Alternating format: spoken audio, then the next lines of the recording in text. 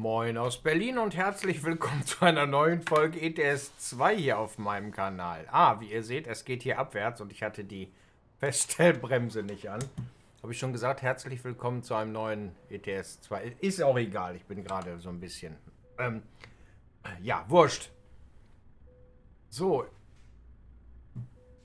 Ja, Feststellbremse angezogen, wie schön. Macht ja nichts. So, ich bin gespannt. Wir müssen fünf Kilometer fahren bis zu unserer nächsten Fracht. Bin sehr gespannt, ob man uns die wieder klaut oder wie das ausschaut. So, hier kommen wir raus. Dann werde ich aber langsam wild, werde ich sterben, hör. So, ich hätte fast gesagt, heute ist so ein bisschen mein Glückstag oder sowas. Ich hatte gestern meine, meine, meine Psychothera, nee, was weiß ich, Neurologin angeschrieben, dass das Arbeitsamt gerne eine AU hätte. Ja, weil ja dieser Amtsarzt mich als nicht vermittlungsfähig eingestuft hat.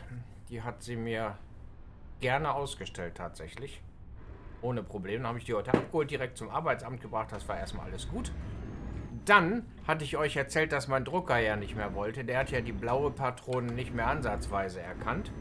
Da kam ja nichts mehr raus. Ich habe jetzt tatsächlich, ähm, also auch mit dem neuen Satz Tinte funktionierte das nicht. Ich hatte das Ding dann ja regelrecht ausgewaschen. Ähm, tagelang mehrfach heiß geduscht, hätte ich bald gesagt. Ja, in so ein paar Dinger war dann Wasser eingedrungen. Das war dann nicht so prickelnd. Aber es ist nichts kaputt gegangen tatsächlich. Und ich hatte daraufhin, ich habe dieses, dieses Tintenabo bei HP. Weil, wenn ich mir das Ganze hochrechne, ähm, ist es billiger, als wenn ich alle Nasen lang eine neue Patrone kaufen muss. Es ist so, zumal ich nicht mal eben 70 Euro für so einen Satz Patronen übrig habe. Da kann ich dann lieber ich sag jetzt mal, jeden Monat 3 Euro bezahlen und äh, passt mir dann besser in den Kram. Von daher gute Idee und ich habe immer Tinte da, wenn sie leer ist. So. Es sollte jetzt keine Werbung sein, ich krieg dafür nichts, von daher. Aber ich finde dieses System eigentlich ganz cool. Naja, jedenfalls, äh, das Netzteil hat letztens überhaupt keinen Muck von sich gegeben. Da hat auch nichts geleuchtet und überhaupt nichts, obwohl eine Leuchtdiode an der Seite drin war.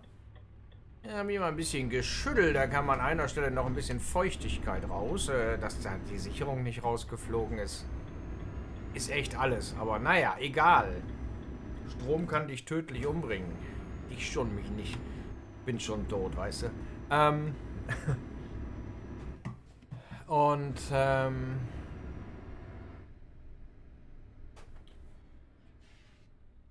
Jetzt wollte ich ihn gestottert haben. Genau. Ähm.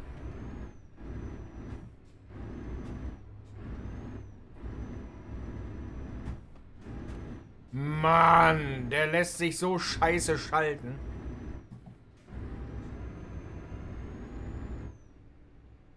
Ja, jedenfalls äh, habe ich heute gedacht, okay, bevor du das ganze Zeugs jetzt in die Mülltonne stopfst, versuchst es nochmal, gibst ihm noch eine Chance. Ich habe das Ding angeklemmt, an Strom eingeschaltet und sieh mal da, die Leuchtdiode leuchtete an diesem Netzteil.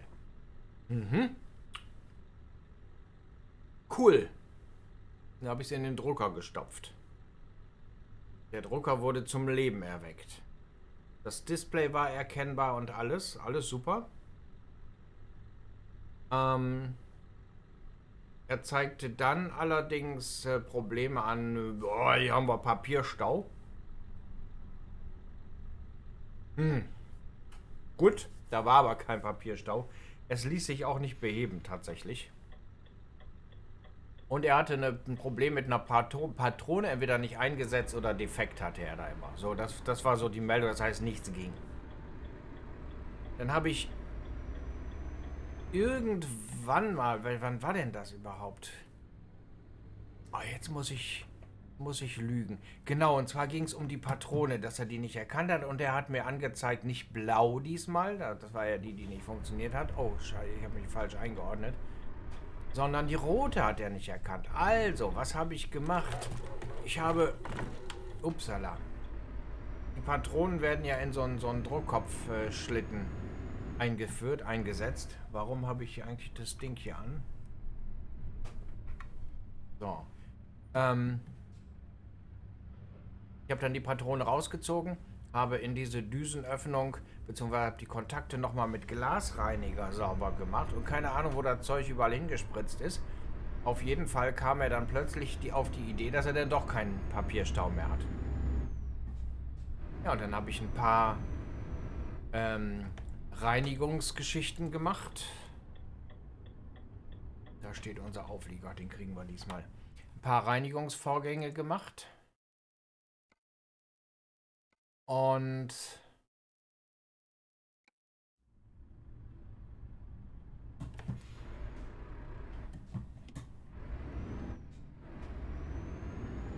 Achso, wir nehmen den Guinness, okay?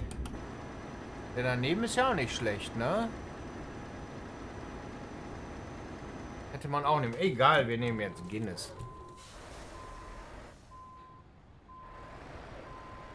Ähm, und er druckte dann plötzlich alles ganz sauber, nur die Farbe Gelb war nicht vorhanden auf, dem, auf der Testseite von HP. Und dann habe ich mir mal angeschaut im Netz, wie so eine HP-Testseite überhaupt aussehen muss. Und habe festgestellt, okay, die sieht so aus, wie sie sein soll. Richtig sauberer Druck und alles. Also wirklich perfekt.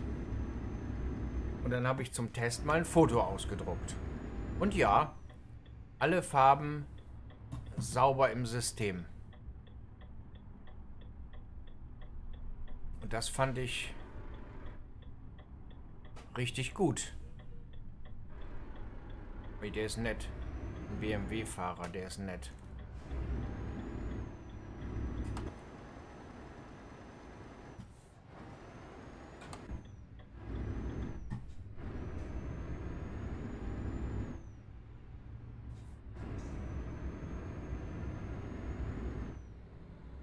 So.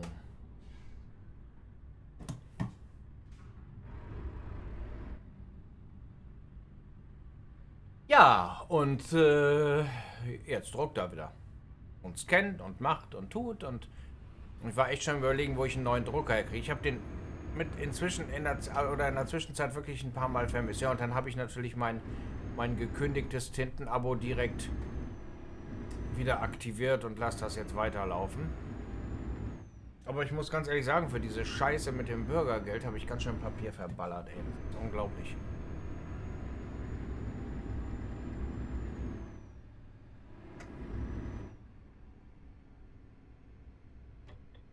Gut, bedeutet aber auch wenigstens keinen neuen Drucker erstmal. Toi, toi, toi.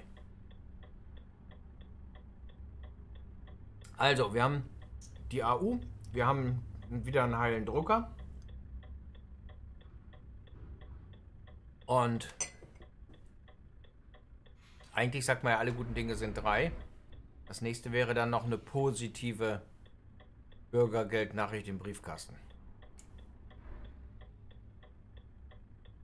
Ja, ich habe so ein bisschen das Gefühl, dass man schaut, dass ich über die 55 rüberkomme. Das wäre ja im Mai soweit. Und das... Alter, Kiel hat aber auch nur rote Ampeln, wa? Ist das das... Hier, von dem Hotel. Da, von da aus bin ich damals immer äh, dann wieder zurückgefahren nach, ähm, nach Berlin. Mit einer Mitfahrzentrale.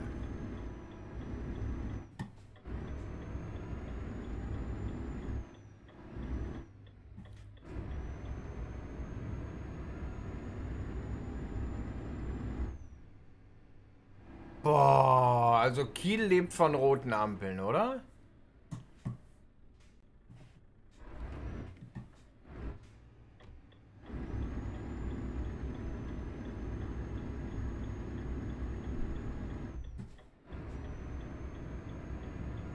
ja mal gespannt, ob bei diesem LKW der Regensensor funktioniert. Fängt nämlich an zu regnen.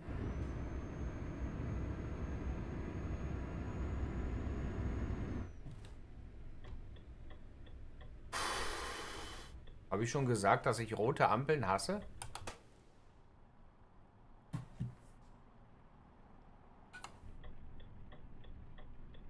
Ich sehe die Ampel überhaupt nicht.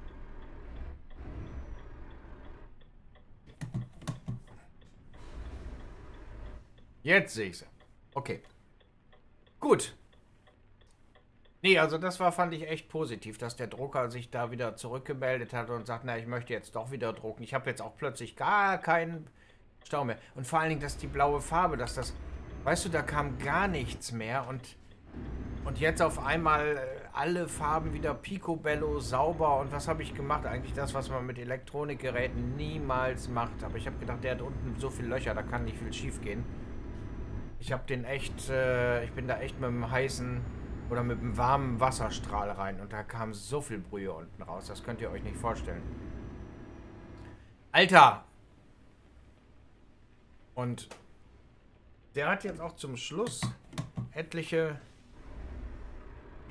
etliche Tage auf dem Dings gestanden. Okay, der Sensor möchte alleine nicht.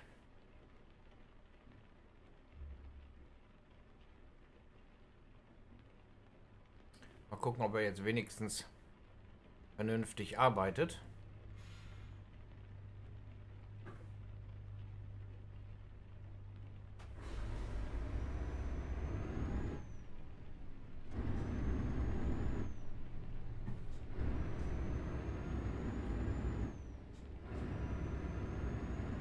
Er hat eine unheimlich kurze Übersetzung.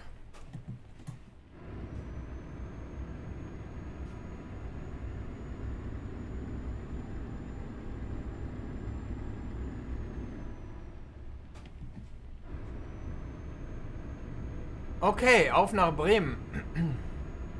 Also so scheint der Sensor jetzt zu funktionieren.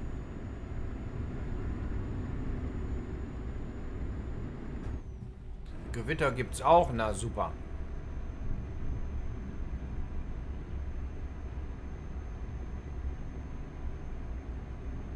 So, wir fahren jetzt Richtung Hamburg. Erstmal Hamburg, Hannover, beziehungsweise später dann Richtung Bremen.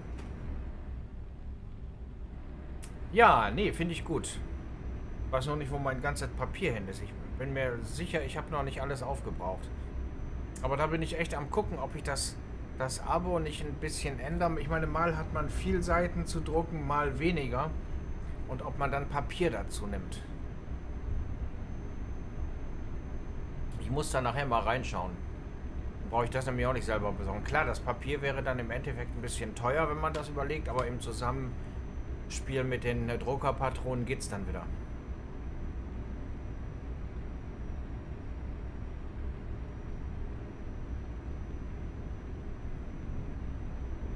Ich meine, wenn ich überlege, ich habe eigentlich einen 50-Seiten-Tarif, brauche ich selten.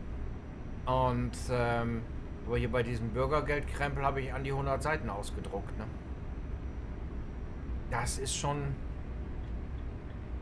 enorm. Aber mit 10 Seiten, ja, es kommt immer drauf an. Mal kommt man mit hin, mal nicht, ne?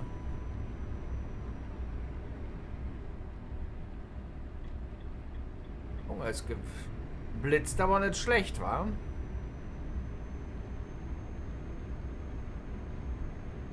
Wisst ihr, was ich auch noch, noch cool finden würde hier im ETS? Also jetzt nicht nur Regen und Gewitter, das ist ja schon realistisch, also auch richtig manchmal so Sturmböen.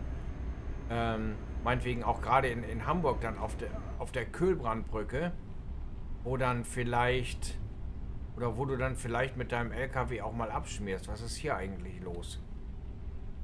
Ach so, hier geht's auf, auf die andere Piste. Ui!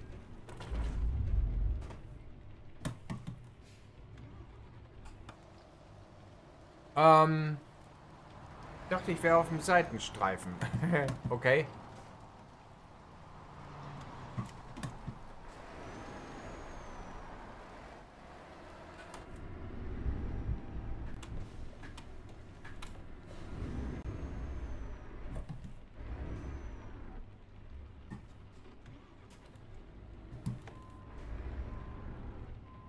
Der fährt gar nicht mehr.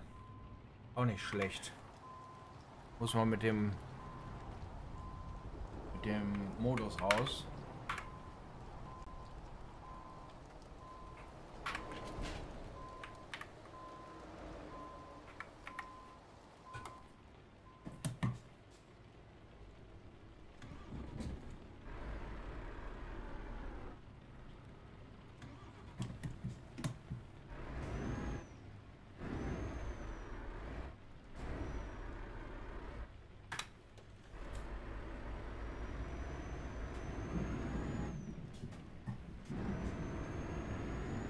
Ähm, ja, genau. Da war ich wohl etwas zu forsch.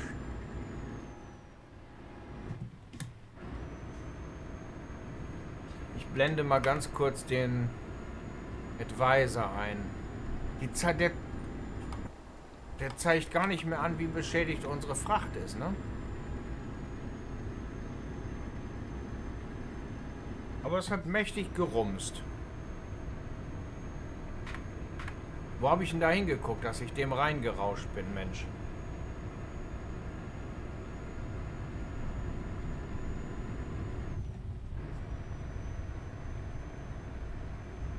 Naja, egal. Gut, wo waren wir stehen geblieben? Ach so, genau, bei dem Tintenscheiß. ne, man muss mal eben gucken. Ich meine, manche meinen so, ist Abzock oder so, aber äh, ich sag mal, meine Freundin zum Beispiel, der habe ich dieses Abo mal vorgestellt. Sie hat die Patronen immer so im Internet bestellt. Und sie hat für so einen kompletten Satz immer so an die 85 Euro bezahlt für ihren Drucker. Das macht sie zweimal im Jahr, also 100 rundweg, ähm, äh, was sind das, 100, na, bin ich jetzt blöd oder was, 170 Euro circa. Ja, jetzt hat sie einen Tarif, weil sie sagt, sie druckt nicht viel. Fragt man sich natürlich, wo die ganze Tinte dann hin ist. Ähm, wo sie, ich glaube, 1,99 oder sowas bezahlt, also knappe 2,50 im Monat. Ja, und wenn du dann überlegst, zweimal im Jahr Patronen, Papier dabei, perfekt.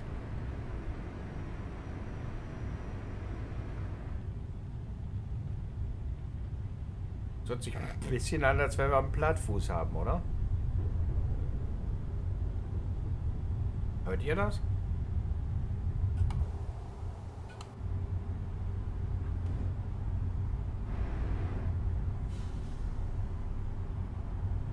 Mann, Leute, fahrt doch mal. Ich kriechen sich hier ein zu Gange. Ich weiß, im Elbtunnel wird geblitzt.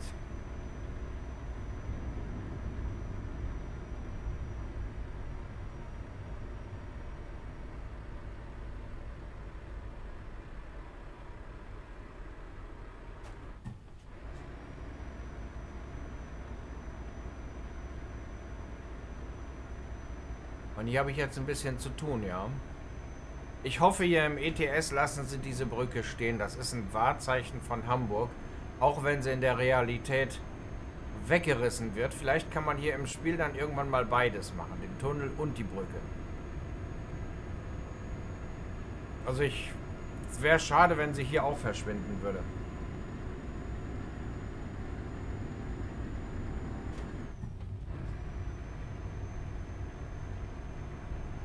Ich habe mir irgendwas am Rad angefangen. Das flattert so ein bisschen. Muss damit dann, wenn wir am Ziel sind, und wir haben schon wieder überzogen, wenn wir gleich in Bremen sind, muss ich unbedingt in die Werkstatt. Aber Hamburg-Bremen, das ist ja nichts mehr. Ich hoffe nur, dass wir nicht so viele Guinness-Dosen oder Flaschen kaputt gemacht haben. Ne?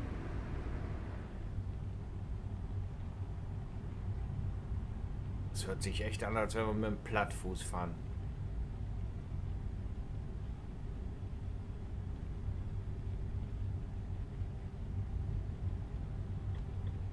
Mann, hier raus.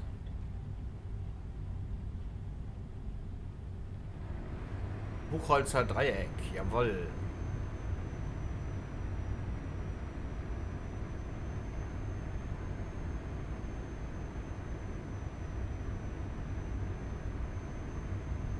Ja, ja, ja.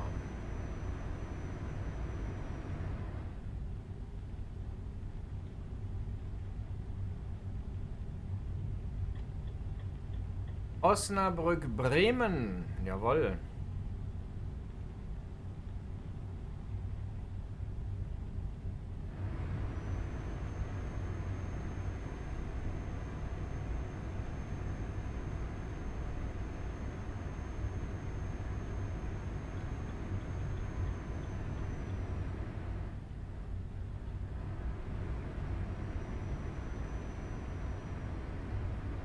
So.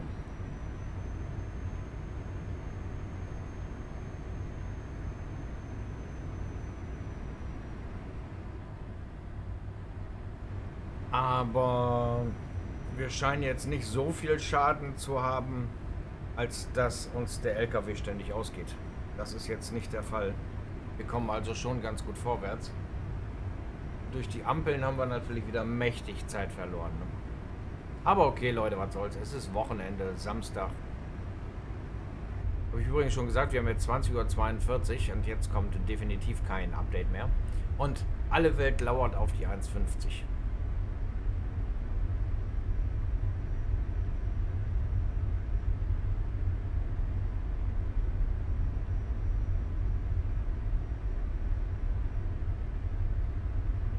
So.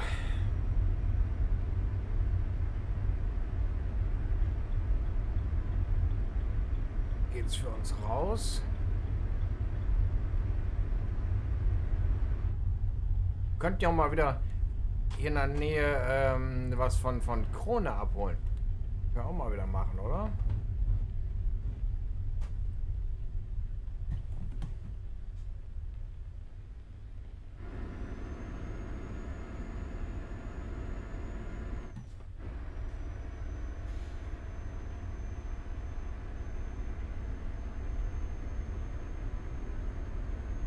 Da sind wir jetzt gut weggekommen. Keine rote Ampel.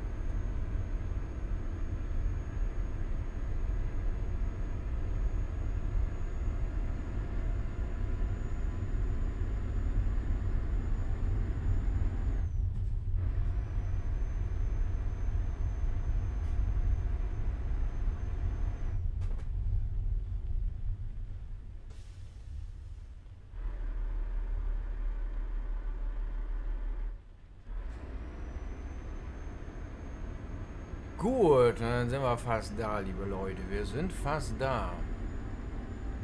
Hier ist die Tanke. Das ist die Querstraße und ich hoffe, dass die grün wird, bis wir da sind. Jawohl, das klappt heute alle du. Was in Kiel nicht funktioniert hat, funktioniert hier grandios. So, wir sind in Bremen. Hier ist schon unser Empfänger. Da düsen wir mal auf dem Hof und sollten die Schäden sehr groß sein, dann werden wir ganz schnell versuchen zu verschwinden. Ich mache das jetzt mal so.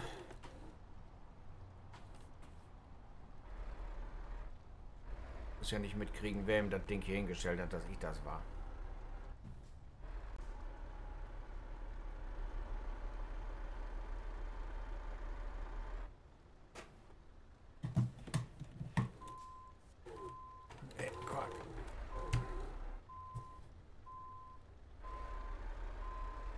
Das ausreicht.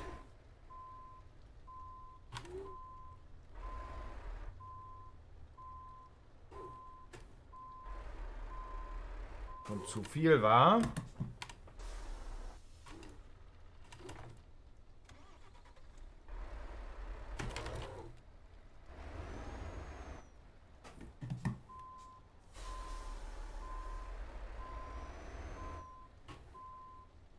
Jetzt hau das hin hier.